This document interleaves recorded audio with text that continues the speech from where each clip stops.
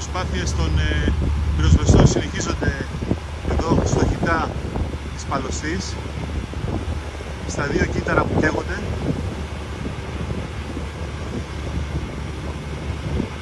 Με ειδικό εξοπλισμό και ειδικές μάσκες με το ειδικό όχημα κανόνι προσπαθούν να περιορίσουν τη φωτιά μέσα στο κύτταρο και να αποτρέψουν ε, τυχόν ε, επέκταση στις γύρω περιοχές.